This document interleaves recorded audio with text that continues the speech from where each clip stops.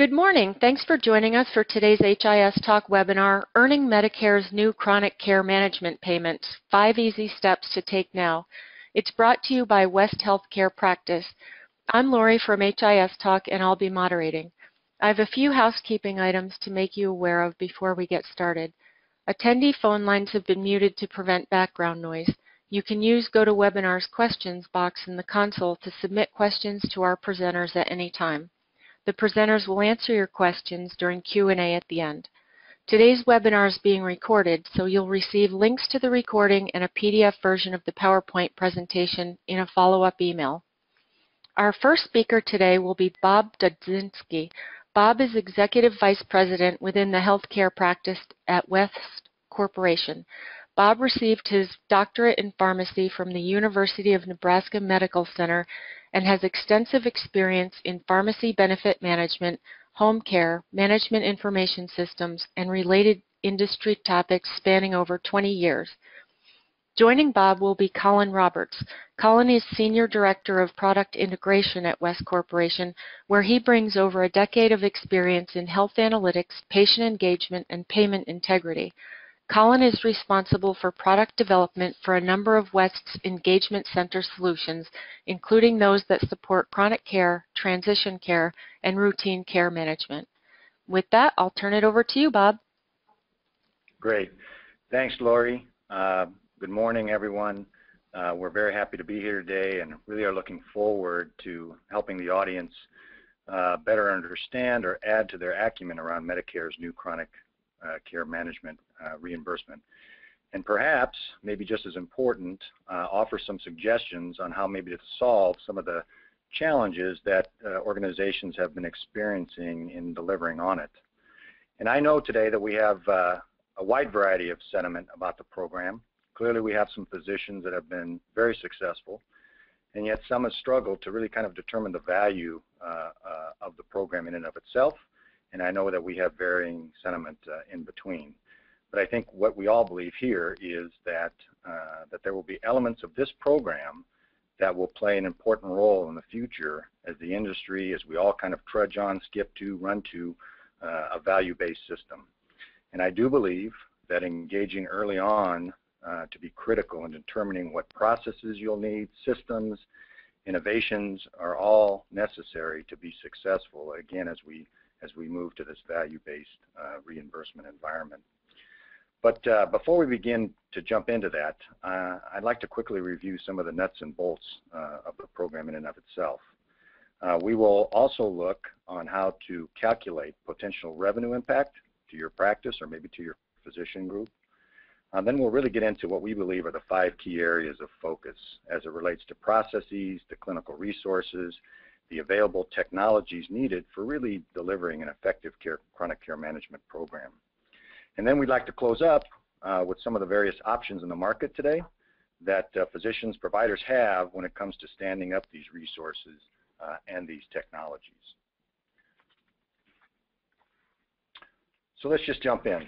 Um, again, just to recap, to set everybody at the same level, uh, Medicare CCM code 99490 took effect January this year, as we all know.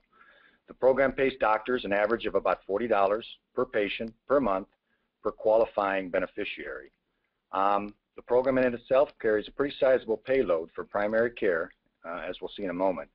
But now, physicians can be paid for the hours of non-face-to-face time they spend on behalf of their beneficiaries with two or more chronic conditions.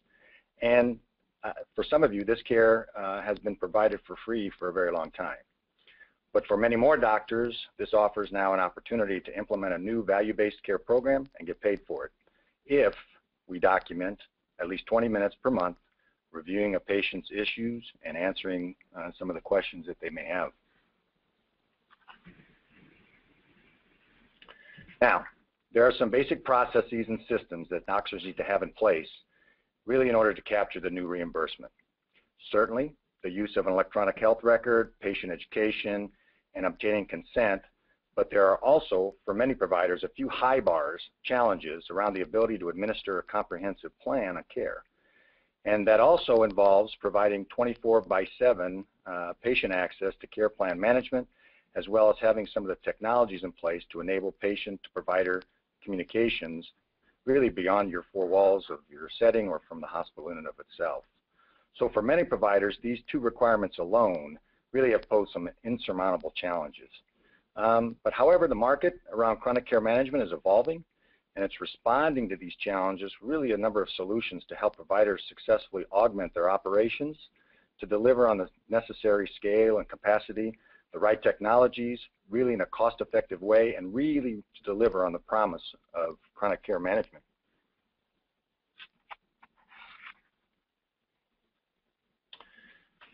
You know, and this does really represent a very significant financial opportunity. Uh, per the slide, let's take a look at the reimbursement opportunity in the context of a physician group of about 50 doctors. For one of those docs, the assumption here is that there are roughly 750 beneficiaries and about two-thirds of them qualifying for chronic care management by having uh, two or more chronic conditions. Now, not all the patients will choose to participate in the CCM program, but a conservative approach here would say just about over half will. At an average per patient per month reimbursement of about $42, $43, that represents uh, a little over uh, $135,000 for that doc. Now, of course, if you want to multiply that across the 50 physician practice, the revenue potential for the group collectively now is in the neighborhood of about 6.7 million. And again, I think it's also important to look beyond some of the dollars and cents uh, when you begin to evaluate uh, whether or not to get into the CCM game. And so what we've added is some other considerations uh, that you may, may want to think about. As an example, strategic alignment. Should we establish this function as part of our evolution to a value-based care? You may eventually be asked to do beyond this. This may simply be training wheels uh, for you to move, into a value-based system. What about gaps in readiness? How prepared are we from a staffing, clinical, operational, and technical perspective? And then do we read, should we, can we evaluate partnerships? Do we really need to build out all the infrastructure ourselves? Are there other ways to effectively accomplish uh, CCM collectively? So with that, I'm going to turn the next series of slide presentation over to Colin, and he will get into really some of the more details around CCM and how we position it uh, in the marketplace. Great. Thanks, Bob, and um, thanks everyone on the phone for, for joining and, and for HIStalk for, for hosting us. Um, as, as, Bob had said, uh, I'm going to review the five key areas that, that we see as being critical to uh, a, a, successful or hosting and owning a successful chronic care management or CCM program. Um, those are listed here on the slide and, and, really are in kind of chronological order with the exception of training and support, and I'll get to that at the end. But those five areas are identification and recruitment of patients, the enrollment and education of those same patients, um, the ability to engage and activate throughout the, the term of the CCM program, um, and then the ability to get reimbursed. Uh, the last one we've got on there is training and support, but really that's primarily going to be a foundation that's underneath this to ensure that all parties involved are aware of their role with which they're supposed to support as it relates to participating in a CCM program. So as I move into the first one, identification and recruitment is, is, is obviously the first step that you're going to want to step into. Um, if you're not able to segment or identify those patients um, who are dual chronic um, and who would qualify for this, you're really not going to have anybody to bill against. Um, but as you look at this, there's also other factors that, that are in play here, um, potentially taking into consideration socio and demographic um, analytics and considerations to ensure that the patients that you're targeting are those that would maybe adopt being participants in a program like this, are high adopters of maybe technology if you're going to use technology to help support and augment some of the functions as it relates to maybe biometric journaling and things to that effect. Um, and then also segmenting potentially those patients that you don't want to try and recruit. There is going to be a subset of patients that are either maybe too ill or too sick to really be able to monitor outside of the, the clinical setting. And you don't want to put a bunch of efforts towards those patients um, to try and get them potentially even confused around this program since they wouldn't benefit from it in the long run. Um, next step would be once you've got them identified is, is how do you make sure that they're aware and reach out to those patients?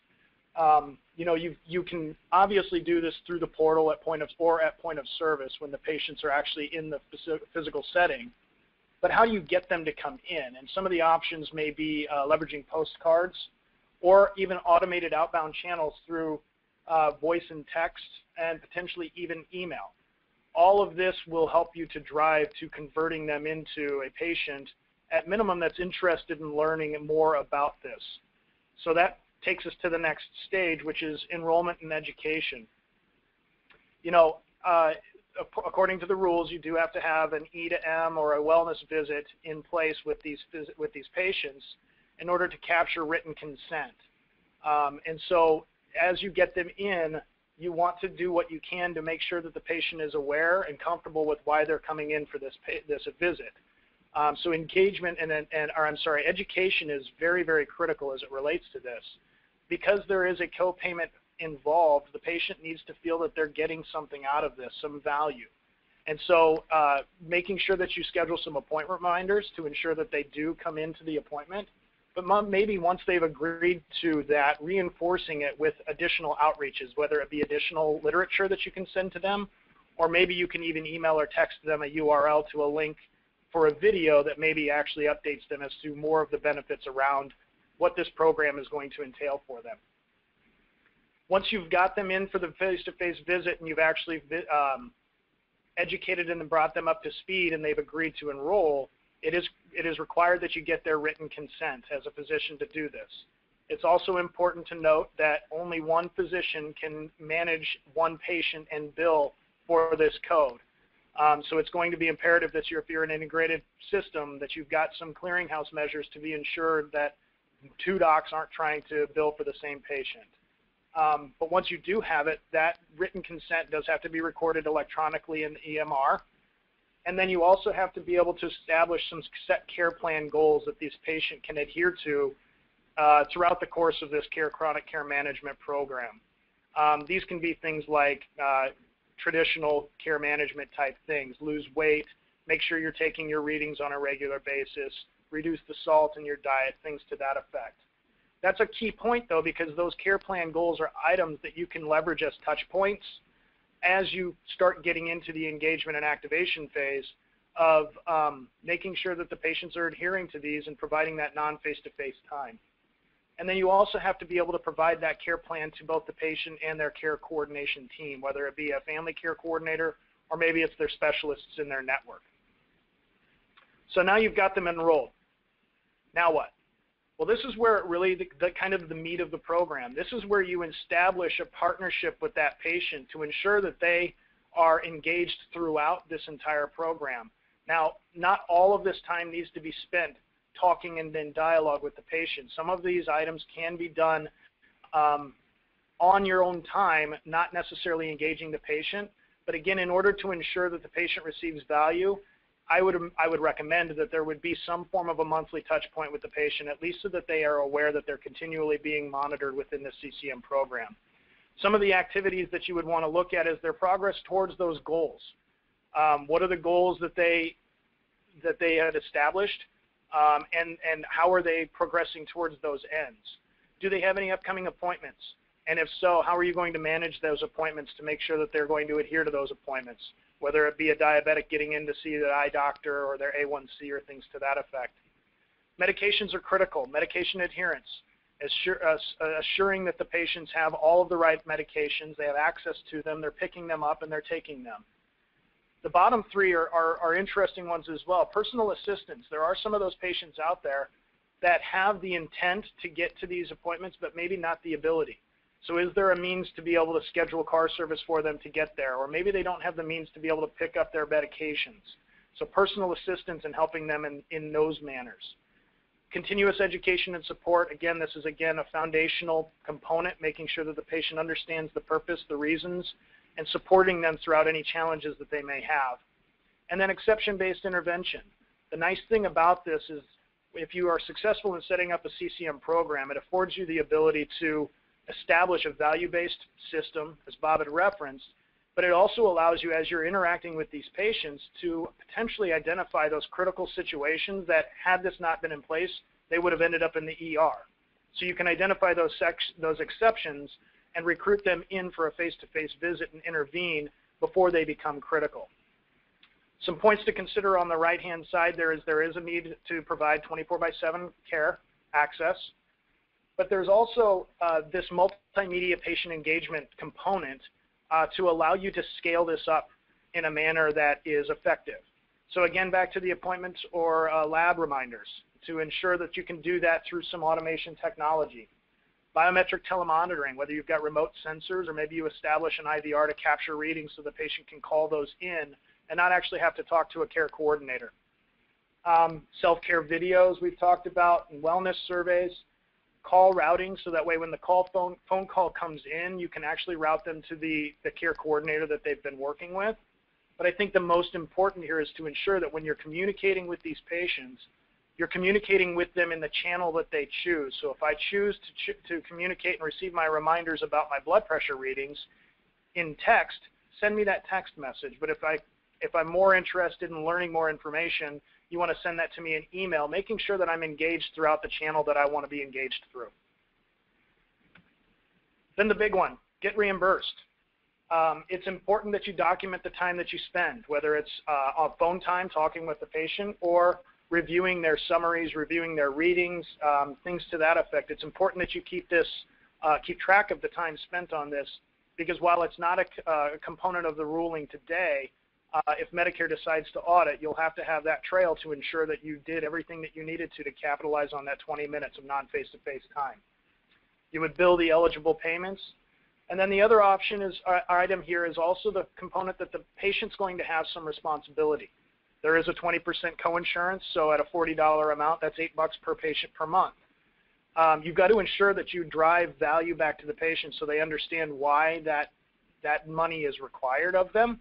But you should also enable them the ability to make sure that they make that payment. Now, sometimes it could be just rolled up into your traditional um, means for billing patients.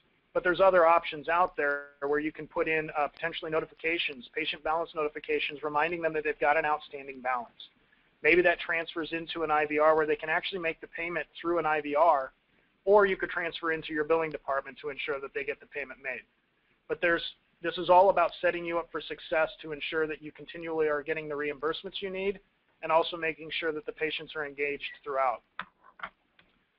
And uh, finally, the fifth step is training and support. Again, this is more foundational and it's probably throughout, but it's ensuring that uh, all of the training requirements and all of the requirements from a CCM standpoint are identified and adhered to, um, but also ensuring that roles and responsibilities are clearly defined. So if the doctor needs to see the patient, he or she knows exactly what they're supposed to do when they see that patient. If you've got a care coordination team, they know exactly what it is that they're supposed to be doing when they're helping manage these patients or coordinate their care. And even more so, the patient, understanding the value of the program, why they're supposed to be doing this, the benefits that they may receive because of this, and then finally, billing and consent management to ensure that you're getting the right people on um, in, at, at, the right time. All of this should be done in an interactive way, role-based, um, accurate and relevant, and then also make sure that you track to completion. So if you've got an education series out there, make sure that you track that it has been completed if it's a web-based uh, model or a video link that has been uh, required to be wa uh, watched. So my last slide before I turn this back over to Bob is really what are the options and what are the approaches that you have as it relates to setting up and establishing this type of a program? Um, you know, it's the, the ever, ever growing build versus buy. Uh, we've actually layered in partner. You know, you do have the option to build this on your own, uh, but in doing so, you've got to make sure that you maintain and train the staff uh, for 24 by 7 clinical uh, purposes. Um, you make sure that you've uh, got the, the appropriate uh, telecommunications technologies implemented to ensure that you can communicate with these patients um, bidirectional as well as in the channel of their choice. And then also have an ability to target and recruit the patients outside of the clinical setting. If you're going to be wholly reliant on these patients to come in face-to-face and educate them on that time, The ramp up on this is going to be significant. Uh, if you, unless you put in a targeted approach to recruit those patients in, the, the scale on this from a revenue ramp standpoint is probably not there. The other option though is to partner, and you've got two really options here. One time you could partner with someone to help you create a plan and a new program, which could be a completely outsourced turnkey solution. Um, or you could also take that turnkey solution and start learning from it and then adopting it within your own practice as it grows and matures. Um, one other option is within an enterprise system um, or a multi-doc system. This is something that you could leverage to help recruit either additional doctors or additional patients through doctors as a value-added service that you can provide to those doctors once you've got a mature program in place. So there's a selling point back into the practices. The other option is to potentially identify those partners that you maybe already have in existence and improve upon what they're bringing to the table in comparison to what they're currently bringing to the table, or could bring to the table, I should say. Things like uh, patient targeting and recruitment. Again, outbound notifications could be critical here. Um, clinical overflow and after-hour support. Maybe you've got some call center reps that could be appended to this and just help with the 24 by 7. Um, again, communication technologies uh, and remote patient monitoring technologies are, are another big asset that can be leveraged in this space. And then finally, again, the training, making sure that you've got adequate training uh, to help train the doctors as well as the care coordination team as well as the patients to ensure that everybody understands their roles and responsibilities. So that is everything that I have. With that, I'm going to turn it back over to Bob. Thanks, Colin. Um, I'm going to close here with just a little bit about our organization, and I promise to make our infomercial short. Um, West Corporation, we're publicly traded. We're really a technology-driven communication company. We're here in Omaha, Nebraska, the heartland of America. We're about 10,000 employees, and we, uh, as a uh, communication uh, uh technology-focused company, we participate in about every industry. So we have footprints in banking, finance, transportation, public safety, and certainly healthcare. We do a lot of healthcare. Um, uh, as an example, nine out of the top 10 health plans, 14 out of the top 15 health systems, and certainly a lot of pharmacies, pharma, and employers are using uh, West uh, communication technologies or our clinical uh, certified clinicians. So uh, with that, uh, I'm going to turn the presentation back over to Lori. Okay, thanks, Colin. Um, as a reminder to the attendees, you can use the questions box in the console to ask questions of Colin and Bob. Um, I have several questions already. Meg wants to know, from an auditing standpoint, must the time be documented in the record or can it be calculated on the back end from some start-stop times in an electronic system? Or if you've established standard times for each activity, can this be used to demonstrate the 20 minutes rather than specific documentation in the record? Uh, quite a question. Uh, very good question. But uh, clearly the, the, there will be absolutely a need to document the time associated with the uh, uh, engagement. Some people are using their own systems, their EHRs, their EMRs, their applications that do have built-in timers. However, other organizations are simply manually recording it, literally, stopwatch uh, and to the end. I would not suggest uh, allocating a given task to a defined number of minutes because I think that's very difficult to validate. Uh, so again, I would look towards the first two options as satisfying the requirements for CCM. And I think this is Colin. One of the one of the things that's most critical outside of all of this is to ensure that you can tie the time spent to a patient record. As long as you can tie attribute the amount of time that you've spent to a specific patient record and designate what was what was done, that's that's the, probably another critical point as well. Okay, thanks. Um, Beth would like to know, our practice has started providing CCM to our patients. The copay is the biggest hurdle we face from both patients and providers. The providers understand the benefit to the patients, but the pushback from patients is significant. Do you have suggestions for language to use or communication strategies to overcome this barrier? The answer to that is yes, and that is a common challenge because again, as you can all imagine, uh, the common question is, well, I thought you were doing this before. And so I think what becomes critically important is to properly educate the patient on the value of the program uh, and what they intend to receive from this program and differentiate what they what you have historically done and how how the system has ultimately been uh, uh, approved or improved, I should say. And yes, to this audience, we can provide some uh, additional uh, uh, verbiage around uh, how to how to overcome that particular hurdle. All right, thank you. Um, Will would like to know, uh, a lot of this seems to be manual tasks. Are you seeing any technology vendors that are designing around the coordinated delivery of this service? The answer is, is yes, and there is continued focus on delivering technology to bring scale uh, and capacity.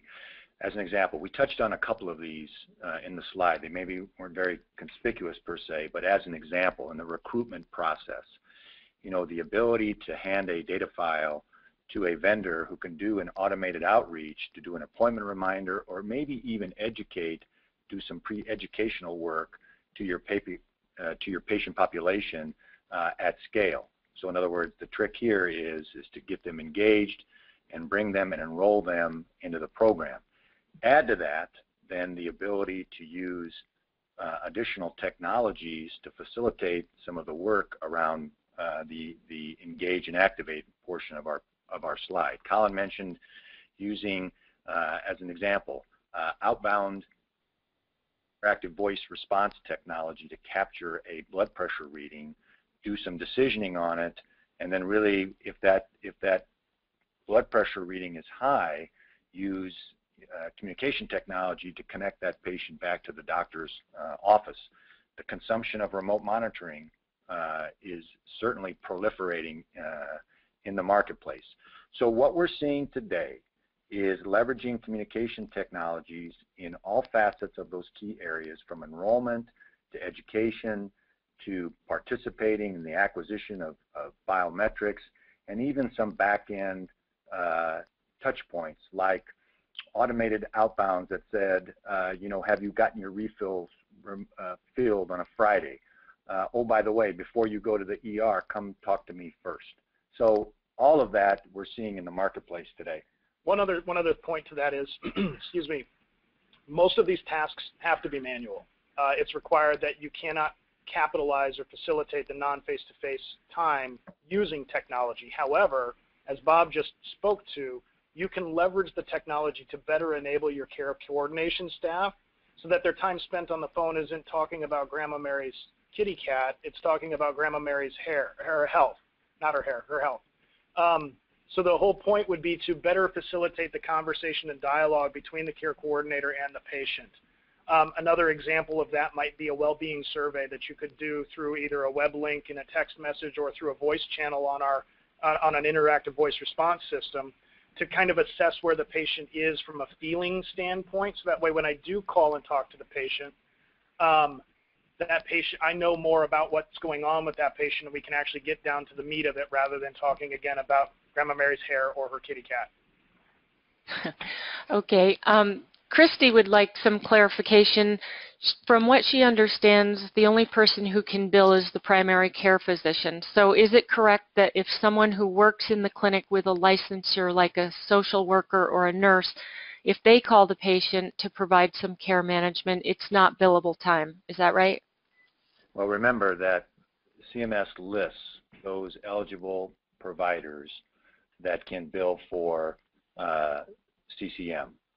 So there are there is the ability then to assist in that care coordination program, but you're not going to be billing under that under that individual's uh, uh, license or or activity per se. So it's still relegated to those identified uh, uh, uh providers that are eligible to bill. But again, the the the support of that billing can be done by individuals inside of your organization who are licensed to deliver on those types of services. So that's how I would frame up the two. It's under the uh, incident to definition. So as long as I'm billing the time that I am as a medical assistant or a CNA, that's incident to the relationship that that patient has with the billing physician, then it can be billed. Okay, Nick would like to know how an emerging digital health company can integrate with West to help deliver value to shared customers seeking CCM solutions. He wants to know if there are APIs available for bidirectional integration that can be leveraged. Short answer to that is, is yes. So uh, he can certainly reach out to our organization and absolutely we have uh, APIs that can integrate. Okay, um, and Dr. Walker would like to know, um, he says most practices want to do this, but they don't want to spend a lot of money on it or train the staff. Are there vendors at no cost to practice or what vendors are you working with that you recommend? Sure. That's a, that's, a, that's a great question because here's the challenge. Do physicians really want to create the infrastructure out of the box or is there alternatives to that to allow them to segue into you know value-based reimbursement? Because really this is a this is the preface to that. So the answer to that is yes. There are organizations out there that can provide a turnkey uh, solution with minimal impact to a physician's uh, practice. What really then is required is a sharing of that reimbursement. So those are the models that we're seeing out there. So as an example specifically uh, if it's, uh, I'm, I'm using a rough number here, but if it's $40 uh, per, per patient per month, there's an opportunity for a physician to relinquish some of that reimbursement, not have the burden of setting up that infrastructure, uh, but still participating in CCM. And it also gets back to Colin's point, which is this is a way to test and try also as well, or maybe learn from best practices as you engage a vendor in that arrangement, you ultimately then could create your own system uh, and transition away from uh, a turnkey system per se, if that's the direction that seems most applicable and profitable uh, for the physician practice. Okay, great. Well, that was our last question. So with that, we'll conclude the webinar. I want to thank everyone for joining us today, and thank you, Bob and Colin, for an interesting and informative presentation. Attendees, watch your email for links to the recording of today's webinar, as well as the PDF version of the PowerPoint presentation. We look forward to seeing you at our next HIStalk webinar. Enjoy the rest of your day.